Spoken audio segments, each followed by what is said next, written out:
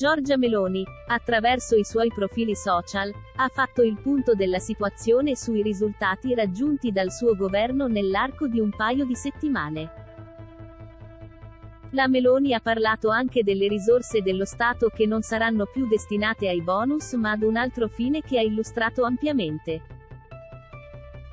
Il governo ha giurato il 22 ottobre e, in meno di due settimane, ha raggiunto obiettivi importanti, ha sottolineato Giorgia Meloni.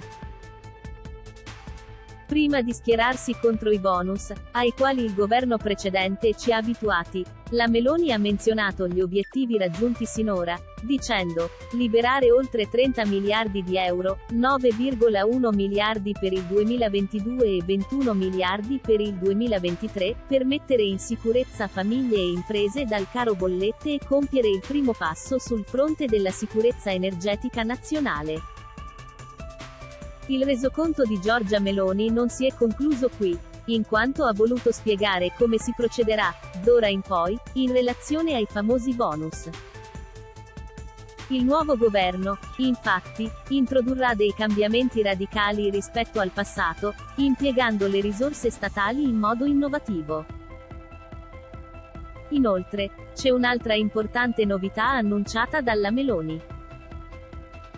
Giorgia Meloni. Ecco le novità del nuovo governo sulla questione dei bonus Giorgia Meloni, attraverso i social, ha spiegato quale politica seguirà il suo governo in merito ai bonus.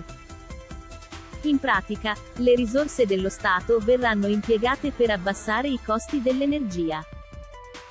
Concentreremo le risorse a disposizione per aiutare gli italiani a far fronte all'aumento del costo dell'energia, senza disperdere risorse in bonus inutili, ha dichiarato la Meloni, sottolineando un vistoso cambio di rotta rispetto al passato.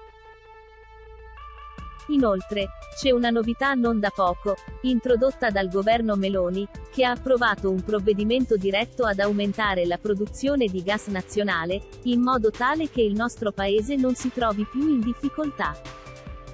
Non solo, il governo ha approvato un provvedimento per implementare la produzione di gas nazionale, a patto che venga destinato a prezzi accessibili alle aziende energivore italiane, ha chiarito Giorgia Meloni. Dunque, la condizione posta da Giorgia Meloni è ben chiara, consentire alle aziende l'approvvigionamento di gas a prezzo contenuto, in seguito all'aumento della produzione di esso nel nostro paese, senza necessità di grandi importazioni. Leggi anche, Antonella Fiordelisi, botta e risposta tra Alex Nuccetelli, Totti e i legali della Vippona, le nuove dichiarazioni dopo le querele.